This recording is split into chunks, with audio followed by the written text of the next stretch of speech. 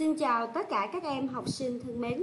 Rất vui ngày hôm nay cô được gặp các em trong tiết học môn giáo dục công dân lớp 8 của trường Trung học cơ sở Lê Quý Đôn. Các em thân mến, tình hình dịch bệnh kéo dài đã làm ảnh hưởng đến chương trình học tập của chúng ta. Tuy nhiên, Bộ Giáo dục đã linh động để điều chỉnh cho phù hợp với tình hình thực tế.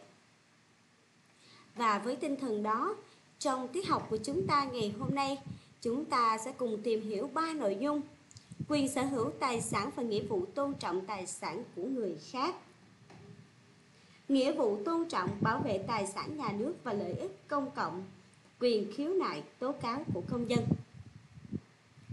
Và bài học của chúng ta xin phép được bắt đầu. Để bắt đầu nội dung tìm hiểu bài học ngày hôm nay, trước hết các em hãy xem những bức ảnh sau đây.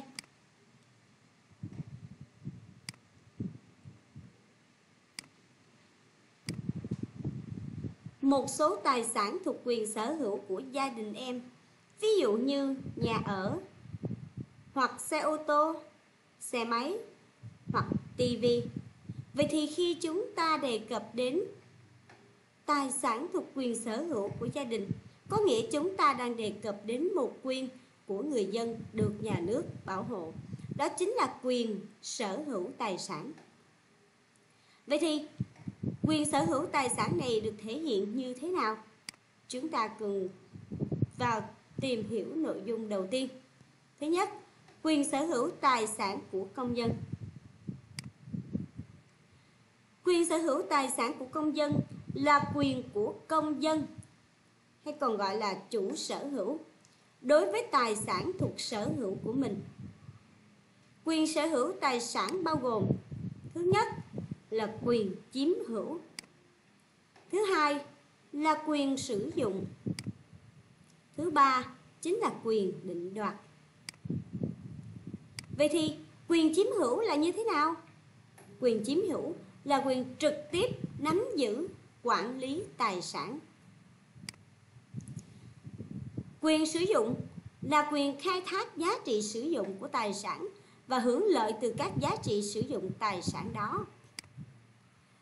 Thứ ba, quyền định đoạt là quyền quyết định đối với tài sản đó.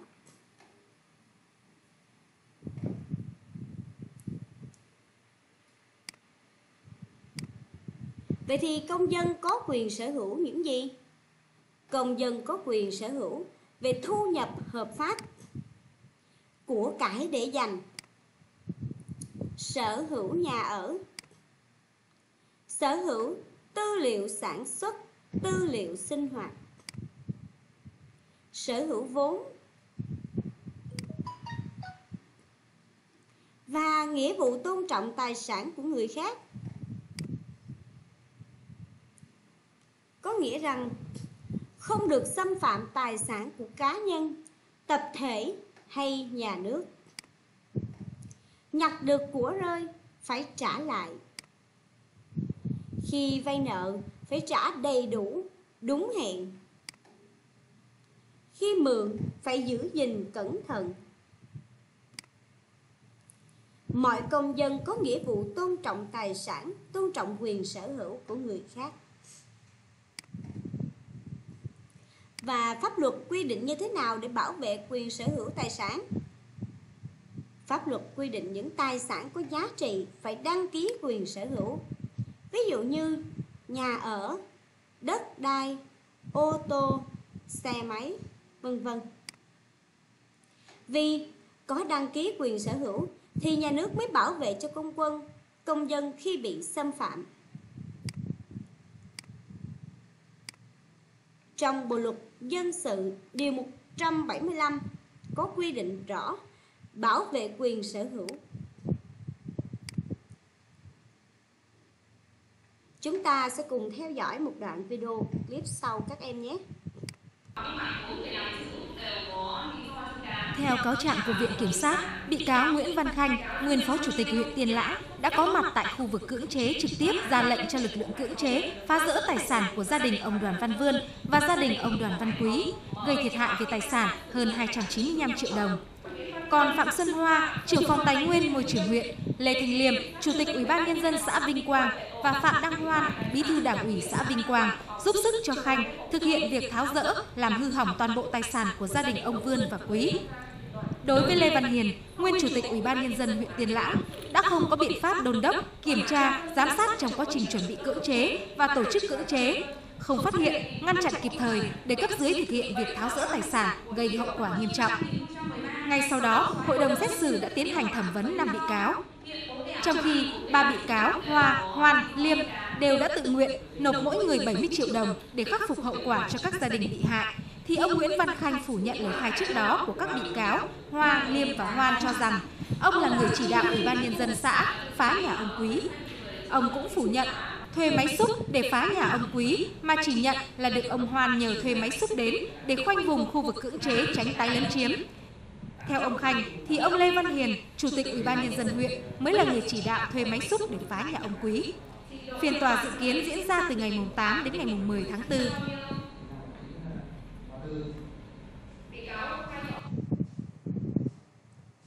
Các em vừa được theo dõi đoạn video clip về hành vi phá hoại tài sản của công dân và với những hành vi này thì đã bị trừng trị trước pháp luật.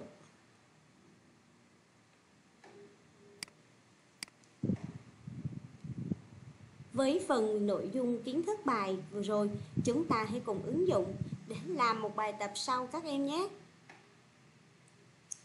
Trong các tài sản sau, tài sản nào thuộc sở hữu của công dân? Tài sản nào không thuộc quyền sở hữu của công dân? Thứ nhất cầu rồng đà nẵng. Thứ hai bãi tắm. Thứ ba máy tính. Thứ tư ô, tô. Sau khi đã nghiên cứu nội dung bài học, rất dễ dàng các em sẽ làm được bài tập này, đúng không nào? Vậy thì, thứ nhất là máy tính, thứ hai là ô tô, sẽ là những tài sản thuộc quyền sở hữu của công dân. Vậy thì, cầu rồng đà nẵng, bãi tắm, thuộc quyền sở hữu của ai? Đó là gì? Chúng ta sẽ cùng tìm hiểu qua nội dung tiếp theo, đó là nghĩa vụ tôn trọng bảo vệ tài sản nhà nước và lợi ích công cộng các em thân mến và bây giờ chúng ta sẽ cùng tìm hiểu nội dung nghĩa vụ tôn trọng bảo vệ tài sản nhà nước và lợi ích công cộng các em nhé. Để thực hiện tốt được nghĩa vụ tôn trọng bảo vệ tài sản nhà nước và lợi ích công cộng, trước hết các em cần phải biết, phải hiểu thế nào là tài sản nhà nước và thế nào là lợi ích công cộng. Về nội dung này, cho chúng ta thấy tài sản nhà nước bao gồm đất đai, rừng núi, sông hồ, nguồn tài nguyên, biển, thềm lục địa, vùng trời, vốn, tài sản cố định do nhà nước xây dựng. Tài sản nhà nước sẽ thuộc quyền sở hữu của toàn dân. Lợi ích công cộng là những lợi ích chung dành cho mọi người và xã hội. Chúng ta sẽ cùng xem một số tài sản của nhà nước như đất đai, rừng núi, nguồn nước, tài nguyên trong lòng đất, vân vân. Một số lợi ích công cộng như đường xá, cầu cống, bệnh viện, trường học.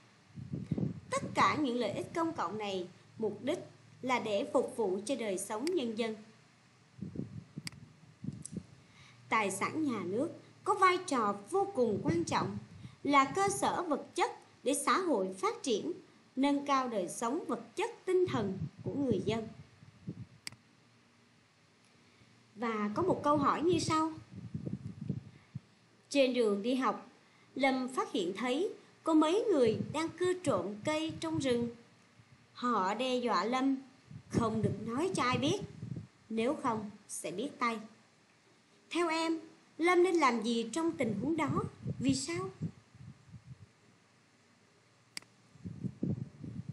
Và câu trả lời Khi phát hiện thấy tài sản nhà nước và lợi ích công cộng bị đe dọa Chúng ta phải có hành động phù hợp để bảo vệ hoặc tìm cách báo ngay cho những người có trách nhiệm can thiệp.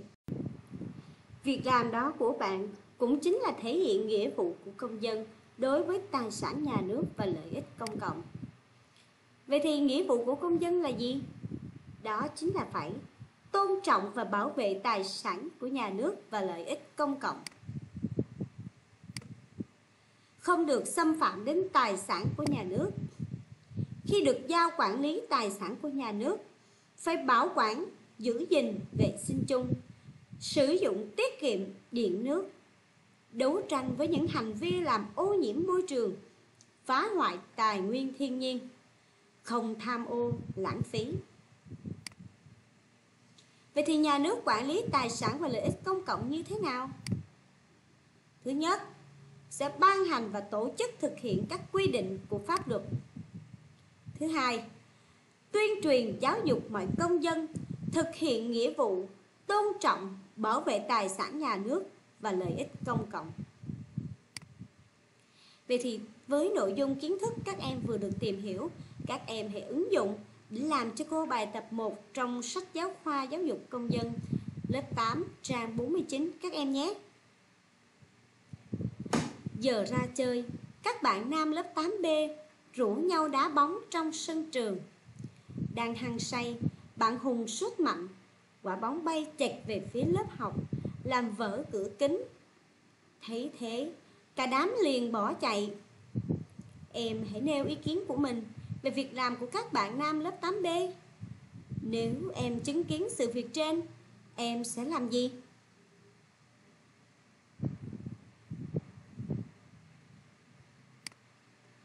Câu trả lời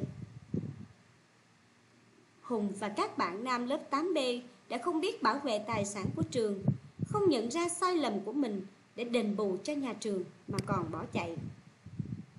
Nếu chứng kiến sự việc trên, em sẽ khuyên các bạn nên nhận lỗi và khắc phục hậu quả đã gây ra. Nếu các bạn không thực hiện, em sẽ báo với nhà trường. Vậy thì các em có biết không với việc làm nếu như các em báo cho nhà trường biết. Nếu như các bạn học sinh lớp 8B không thực hiện mà còn bỏ chạy, thì với hành động đó, các em đã thực hiện một quyền của công dân. Đó chính là quyền khiếu nại tố cáo. Vậy thì quyền khiếu nại tố cáo là gì? Chúng ta sẽ cùng tìm hiểu qua nội dung tiếp theo của bài học ngày hôm nay. Các em nhé. Và nội dung tiếp theo của chúng ta chính là quyền khiếu nại và tố cáo của công dân. Chúng ta sẽ cùng tìm hiểu phần đặt vấn đề. Khi tình huống dưới đây xảy ra, theo em nên xử lý như thế nào? Em nghi ngờ một địa điểm là nơi buôn bán tiêm chích ma túy. Em biết người lấy cắp xe đạp của bạn An cùng lớp hay anh H bị giám đốc cho thôi việc mà không nêu rõ lý do?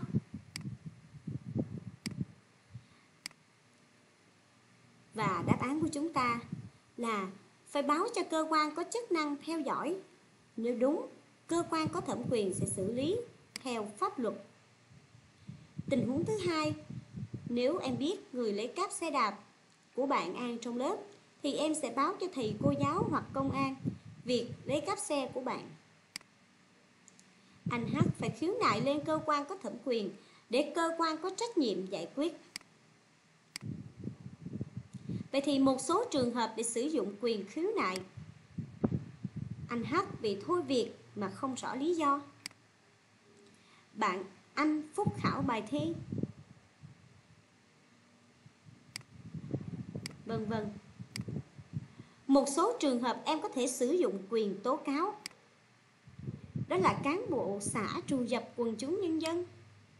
Hay hiện tượng đánh bạc ở địa phương. Vân vân. Kết luận, chúng ta có thể thống nhất, thống kê lại quyền khiếu nại và tố cáo như sau. Về người thực hiện quyền khiếu nại, công dân có quyền và lợi ích bị xâm phạm.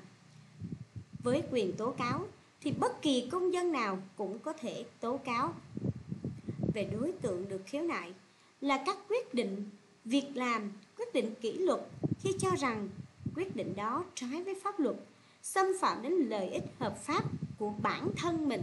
Các em chú ý, chỉ có bản thân mình.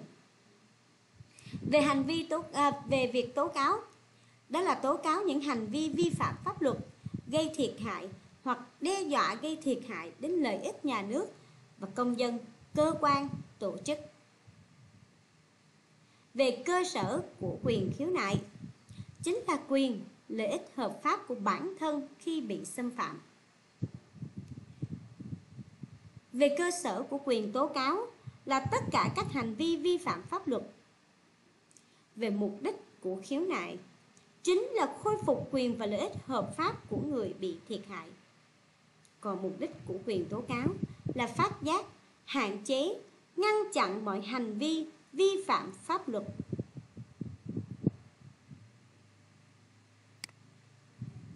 Vậy chúng ta có thể hiểu quyền khiếu nại là quyền của công dân đề nghị cơ quan, tổ chức có thẩm quyền xem xét lại các quyết định, các việc làm của cán bộ công chức nhà nước khi thực hiện công vụ theo quy định của pháp luật, quyết định kỷ luật khi cho rằng quyết định hoặc hành vi đó trái pháp luật, xâm phạm quyền, lợi ích hợp pháp của mình. Quyền tố cáo được hiểu như là quyền của công dân báo cho cơ quan, tổ chức, cá nhân có thẩm quyền biết về một vụ, việc vi phạm pháp luật của bất cứ cơ quan, tổ chức, cá nhân nào gây thiệt hại hoặc đe dọa gây thiệt hại đến lợi ích nhà nước, quyền, lợi ích hợp pháp của công dân, cơ quan, tổ chức. Vậy thì quyền khiếu nại tố cáo có ý nghĩa như thế nào? Quyền khiếu nại và tố cáo là một trong những quyền cơ bản của công dân được ghi trong hiến pháp và các văn bản pháp luật. Công dân khi thực hiện quyền khiếu nại, quyền tố cáo cần phải trung thực, khách quan và thận trọng. Điều 4 điều 74 Hiến pháp năm 1992 quy định công dân có quyền khiếu nại, quyền tố cáo với cơ quan nhà nước, tổ chức kinh tế xã hội hoặc bất cứ cá nhân nào. Việc khiếu nại tố cáo phải được cơ quan nhà nước xem xét và giải quyết trong thời hạn pháp luật quy định. Mọi hành vi xâm phạm đến lợi ích của nhà nước, quyền và lợi ích hợp pháp của tập thể và của công dân phải được kịp thời xử lý nghiêm minh. Người bị thiệt hại có quyền được bồi thường về vật chất và phục hồi danh dự.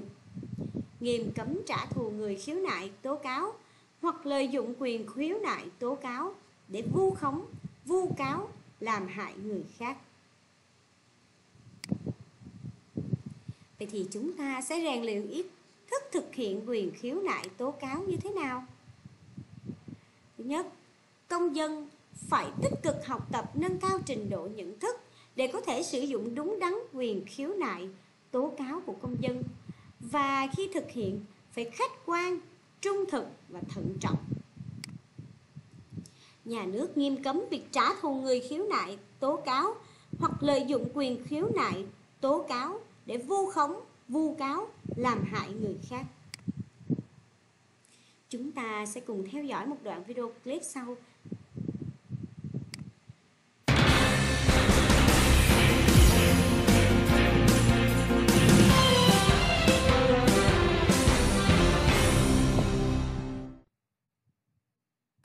Hôm nay Quốc hội làm việc tại hội trường thảo luận báo cáo về việc thực hiện chính sách pháp luật trong giải quyết khiếu nại tố cáo của công dân đối với các quyết định hành chính về đất đai.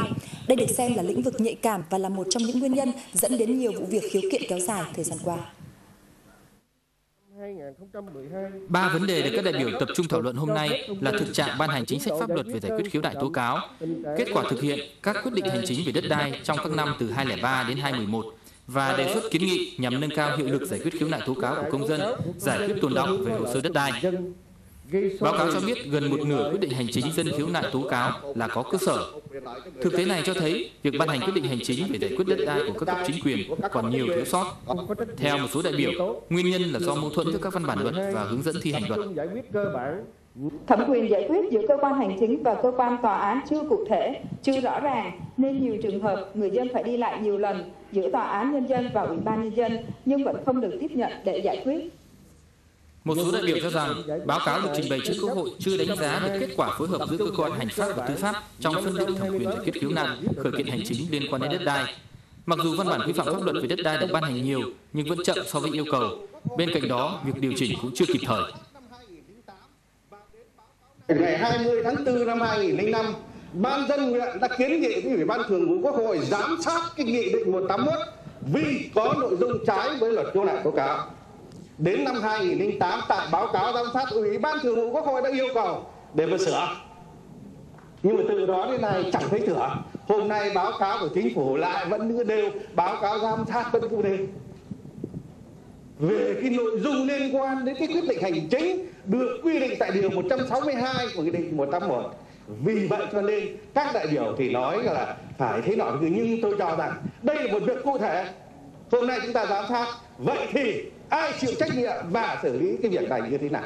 Chúng ta phải phân định rõ là khiếu nại, phân định rõ tranh chấp, phân định rõ tố cáo. Đây là ba cái lĩnh vực mà giải quyết ba kênh khác nhau khiếu nại giải quyết theo kênh khác, tranh chấp giải quyết theo kênh khác, tố cáo giải quyết theo kênh khác có như vậy ta mới đánh giá được vấn đề là quá trình tổ chức triển khai thực hiện của chúng ta có gì vướng mắc Quốc hội cần tăng cường hơn nữa hoạt động giám sát việc ban hành các văn bản hướng dẫn thi hành luật của thuộc cơ quan chính phủ để từng bước khắc phục thiếu sót bất cập về cơ chế chính sách, làm phát sinh khiếu nại tố cáo trong lĩnh vực này. Các đại biểu cũng đề nghị trong báo cáo cần ghi rõ cơ quan nào, địa phương nào giải quyết khiếu nại không triệt để, gây bức xúc trong nhân dân. Xin mời đại biểu Nguyễn Ngọc Phương tỉnh Qua đoạn video clip vừa rồi các em cũng đã thấy chứng tỏ công dân chúng ta có quyền khiếu nại tố cáo để làm rõ về vai trò và trách nhiệm của người công dân. Với nội dung bài học vừa rồi, chúng ta hãy cùng áp dụng để làm cho cô bài tập 1 trong sách giáo khoa trang 52. Bạn T là học sinh chậm tiến, thường xuyên giao du với các bọn xấu và bị chúng lôi kéo vào con đường hút chích. Có lần, chúng bắt T phải lấy trộm tiền của các bạn cùng lớp để nộp cho chúng. Là bạn học cùng lớp với T, em sẽ làm gì để giúp đỡ bạn? Thứ nhất, em có thể khuyên ngăn, giải thích cho Tê hiểu việc làm của mình là sai. Báo cho thầy cô và gia đình để có biện pháp can thiệp kịp thời. Các em thân mến, qua việc tìm hiểu nội dung bài quyền sở hữu tài sản và nghĩa vụ tôn trọng tài sản của người khác, nghĩa vụ tôn trọng bảo vệ tài sản của nhà nước và lợi ích công cộng, quyền khiếu nại và tố cáo của công dân. Vậy thì bây giờ chúng ta sẽ cùng làm cho cô bài tập cuối bài với ba nội dung câu hỏi như sau. Thế nào là quyền sở hữu tài sản và nghĩa vụ tôn trọng tài sản của người khác? Câu số 2. Tài sản nhà nước là gì? Lợi ích công cộng là gì? Câu 3. Là học sinh, em sẽ làm gì để thực hiện tốt quyền khiếu nại tố cáo của mình? Với ba câu hỏi này, các em hãy làm vào trong giấy kiểm tra, nhớ điền đầy đủ thông tin, trường, lớp, tên của mình các em nhé và nộp lại cho cô qua trang Zalo riêng của cô nhé. Xin cảm ơn các em đã chú ý theo dõi tiết học. Xin chào và hẹn gặp lại trong tiết học tiếp theo.